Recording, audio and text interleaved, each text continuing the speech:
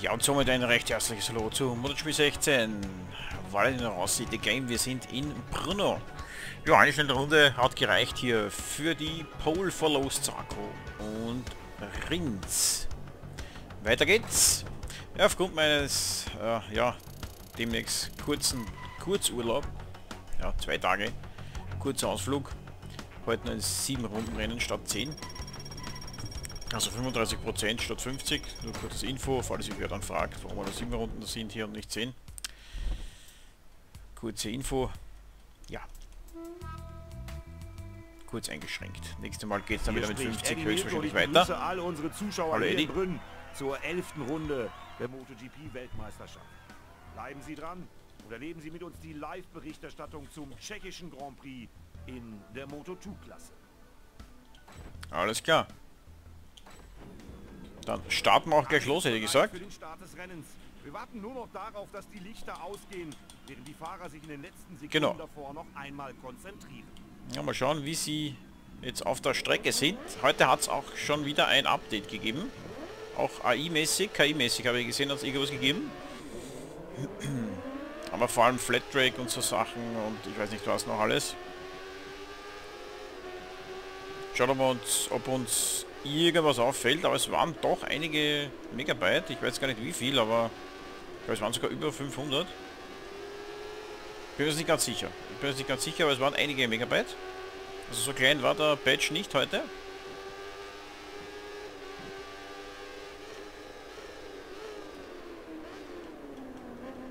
Ja, der Ticken zu aggressiv.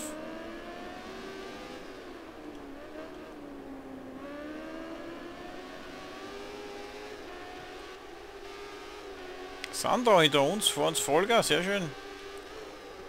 Letztes Video mir auch einer geschrieben, er will, dass ich in der nächsten Saison, wenn ich Motor 2 fahre, was wir definitiv machen, dass ich hier bei Dynavolt fahre, mit Cortese und Folger wünscht sich ein Zuseher. Werden wir noch schauen, wie sich das noch weiterentwickelt, wer da noch Wünsche vielleicht hat.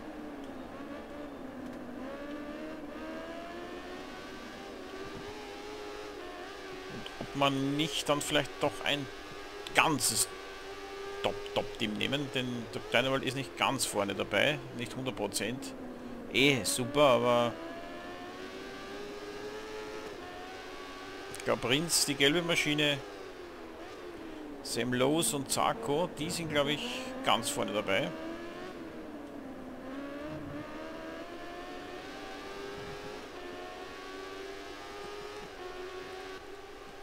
Also wenn wir wirklich Weltmeister werden wollen, dann müssen wir da schon schauen, dass wir auch ein Top-Team kriegen. Mal schauen, wie viel, wir, wie viel wir jetzt werden überhaupt mit unserer Italo Trans, die so ja, mittelprächtig unterwegs ist ungefähr.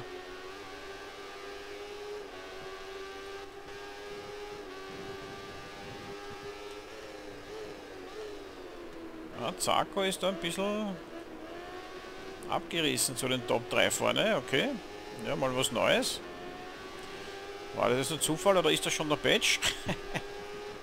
Man weiß es nicht.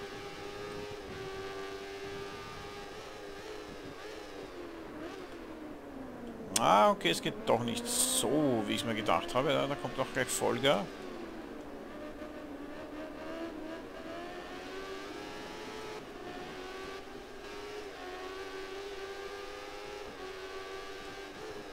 Ja, Schande über mich. Ich habe noch nicht den äh, Grand Prix fertig gesehen, den letzten in echt, also Moto 2 zumindest.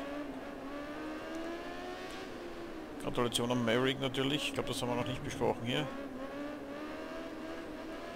Volker ganz am Anfang sogar führender und dann habe ich nur gesehen, dass er ein bisschen zurückgefallen ist. So 4, 5 dann. Und ich bin eh schon, glaube Mitte des Grand Prix ungefähr. Ja, Ich muss ihn noch fertig ansehen erst. Bin leider nicht dazugekommen. Vom äh, Silverstone war das, glaube ich, genau.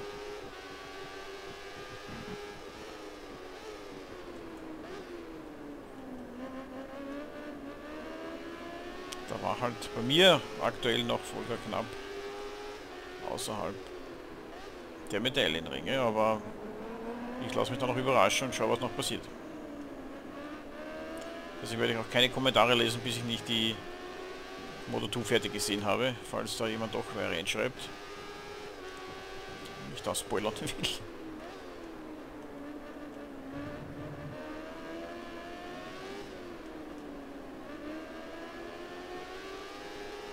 So, die 3 fängt jetzt zumindest mal gleich an.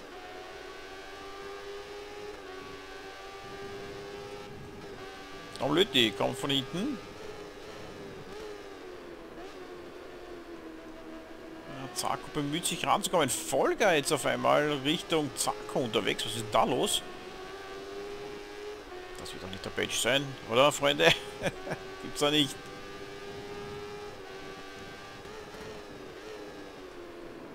Okay, wenn ich von außen anbremse, war das wieder fast zu früh jetzt. Hm. Volker holt auf Zack auf. Was, was, was, was geht denn da ab? Ich wachse gerade überhaupt nicht. Nein, finde ich jetzt extrem geil, aber...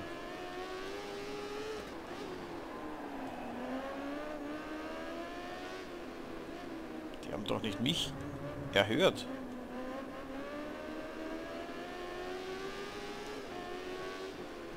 Ich glaube, das sind die schon von Silber draufkommen.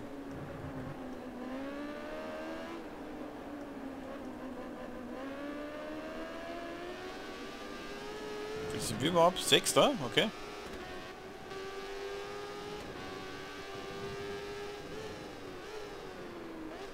Schauen mal, dass wir das sauber hier unten hinkriegen schon langsam. Volker dran hier.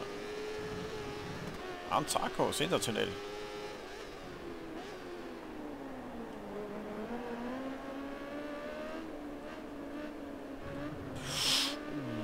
Ah, der war nicht ganz so geil, das war dicken zu eng. Gibt's ja nicht. Und jetzt bergauf, ja, verlieren wir den Schwung auch noch. Ja, das war scheiße. Ah, wieder Unruhe beim Anbremsen, Freunde, was ist denn da los?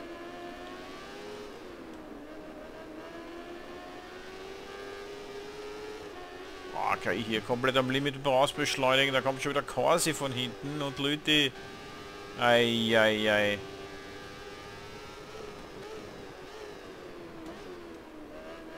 Ja, da können wir uns wieder ein bisschen retten. Ja, also ich muss ganz ehrlich sagen, Brunner haben es auch ganz gut hinbekommen, weil da haben wir eigentlich auch immer ganz easy gewonnen. Also ich glaube diese Saison oder generell MotoGP 16 ist ein bisschen schwieriger.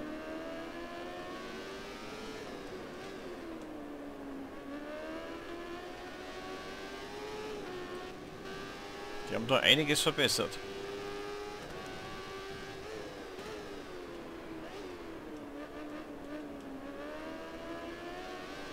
Vorne war doch immer hier, oder? Und hier dann die Links, da ist man immer locker vorgekommen. Scheint jetzt nicht mehr so dramatisch zu sein.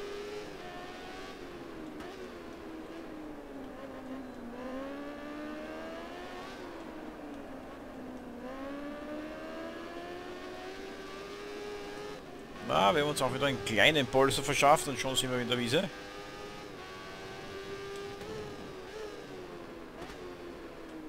Hier mal auch so eine Sturzkurve von mir, stellenweise. Beim 15er.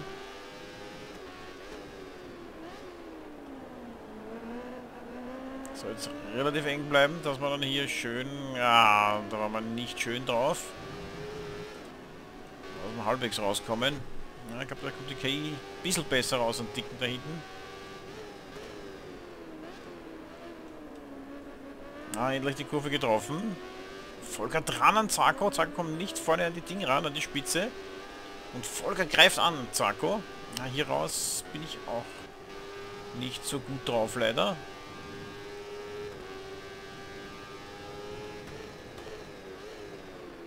und heute habe ich leider nicht so viel Zeit, wo es hier in Brunno wirklich ein geiler Grand Prix ist. Ja, das kann mit dem MotoGP auch interessant werden. Aber ich hoffe, ich beherrsche die generell ein bisschen besser als wie... Ja, ich bin eigentlich um 1 Regen bis jetzt gefahren oder Red Bull Regen und da hm, habe ich mir noch relativ schwer getan mit der MotoGP-Klasse.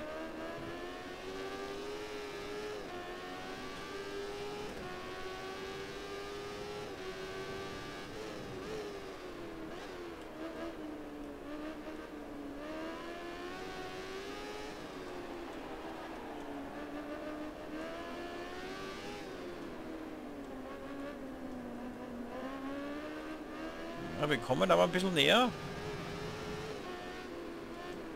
der Sache. Man darf wirklich nicht wirklich Fehler machen. Schön sauber fahren seine Runden.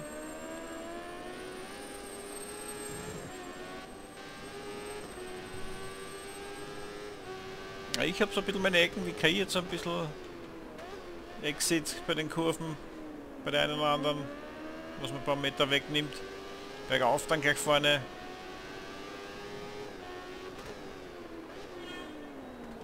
Jetzt wir wieder ein bisschen näher.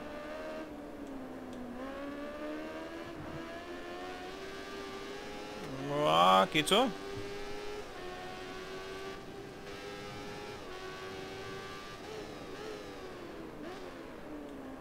Ja, die zwei fighten natürlich auch ein bisschen, also das macht es auch nicht unbedingt schneller, glaube ich.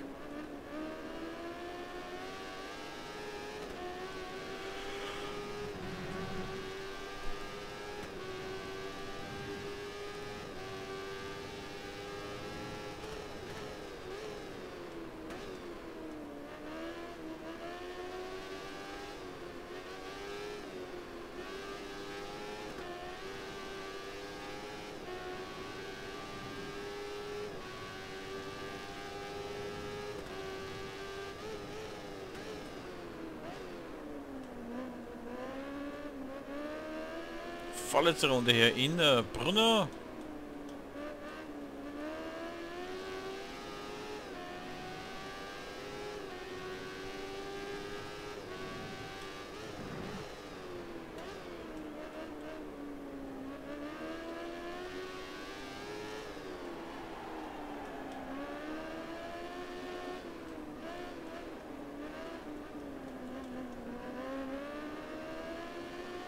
Ja, schwer. Wir kommen, ja, wir sind da, aber hier irgendwie einen Angriff zu setzen, dafür reicht es noch nicht. Zarko dreht sich da schon wieder mal um. Und sie denken, was macht denn der Folger hier? Den werde ich nicht los. Ja, und Bernie Baum kommt auch schon näher.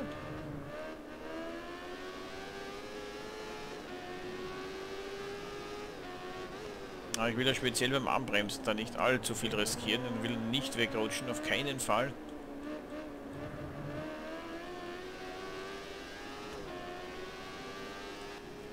Aber hinten schauen wir mal nach quasi ein bisschen gut aus, das passt.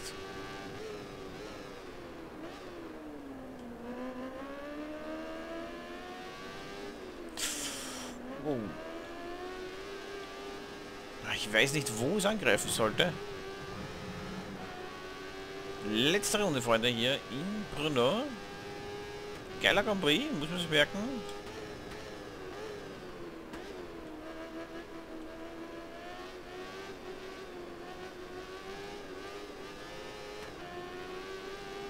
Also, wenn ich dann Zeit habe in der nächsten Saison, wenn man wieder hier sieht, Minimum ein 50er.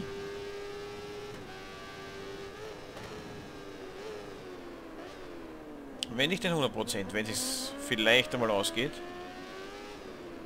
Aber 50 möchte ich mindestens dann wieder fahren. Nächstes Mal in Brunner.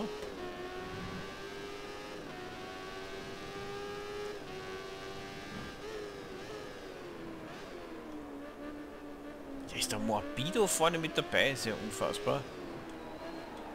Mit Los und Rins wahrscheinlich. Zarko quält sich da mit Volga, die da ja, ein bisschen nebeneinander fahren. Oh, jetzt habe ich es weggeschmissen. Jetzt habe ich die einzige Chance, eventuell noch irgendwo vorbeizugehen. Ein bisschen versemmelt gerade. Da müssen wir unsere P6 nach Hause fahren.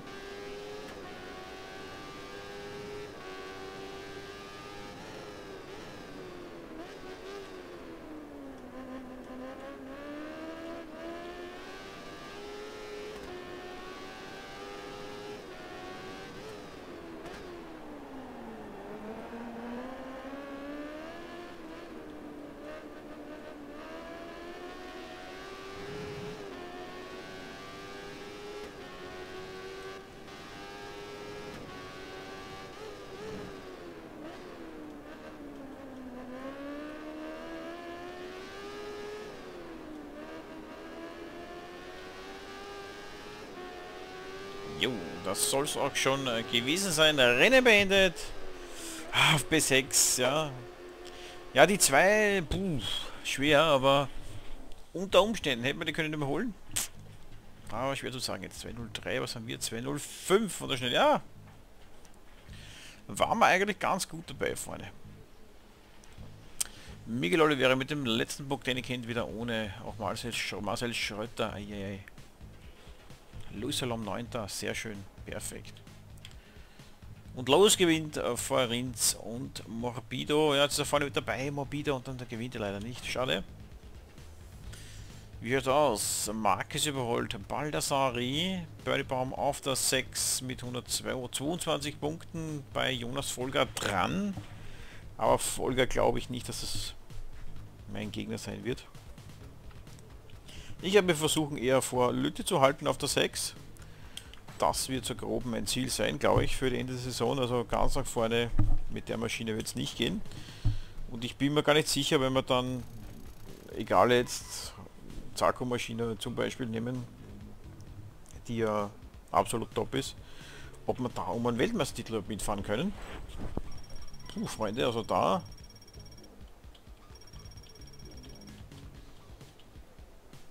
Da muss, da müssen wir noch überlegen. Oder es wird zumindest auf jeden Fall sehr hart. So viel kann man sagen. So, was sagt Wale? Hello guys, we are organizing a special ja. practice session at Misano. I want you all hyped and focused. See you there. Alles klar. Rallye. Die müssen wir überspringen. Ach du Scheiße, jetzt kommt Silverstone dann. Eieieiei. Entweder gehe ich da gleich von Haus aus einen Schwierigkeitsgrad zurück. Zurück. Was wir in der vorigen Saison in der Motor 3 gemerkt haben. Oder ich teste es vorher mal. Im Trockenen. Ja, hilft nichts. Muss ich machen. Fürs nächste Mal Silverstone. Jo, muss ich testen. Da hat man schon schlechte Erfahrungen. Gut, dann sage ich danke, das war's. Und wir sehen uns das nächste Mal. Und gleich für alle, ja, weil ich eben weg bin. Jetzt habe ich die zwei Videos da im Vorhinein aufgenommen, aber Samstag wird kein Video kommen. Samstag wird kein Video kommen. Dafür das nächste wieder am Sonntag dann. In diesem Sinne herzlichen Dank fürs Einschalten wieder. Und ja, ich hoffe, es geht sich am, ja, sich am Samstag ein Formel 1 Rennen wieder aufnehmen kann. Aber maximal wieder nur 25%, glaube ich. Oder wir fahren am 50er und ich nehme es auf zweimal auf mit den Zwischenspeichern. Das wäre ja auch einmal ganz geil, glaube ich wieder. Mal zum Testen gleich. Wenn ich keine Zeit habe, dann fahre ich wenigstens auf zweimal vielleicht. So den einen oder anderen ausgewählten Grand Prix. Ich glaube, es kommt sogar eins Ring, glaube ich, mein Heim Grand Prix. Den muss ich schon irgendwie auf Minimum 50% bringen. 100 ist schon ein bisschen viel. Gut, mit Speichern wäre es egal, wenn ich sage, jetzt fahre jetzt eine halbe Stunde. Oder vielleicht sogar 40 Minuten, wenn es ausgeht und dann speichern wir ab. Aber gut. Dann lasst euch mal überraschen. Es wird dann doch, ja, es wird doch höchstwahrscheinlich am äh, Sonntag. Ich hoffe, ich kriege es hin, ein, wieder ein Part Formel 1 kommen. Das ist immer so abwechselnd eben, Formel 1, MX und MotoGP gerade mal und ein bisschen Star Wars. Das sind die aktuellen Projekte. Ja, in diesem Sinne herzlichen Dank und eben dann bis übermorgen zum höchstwahrscheinlich Formel 1 Part dann am Sonntag. Gut, das war's, danke, bis dann, ciao, ciao.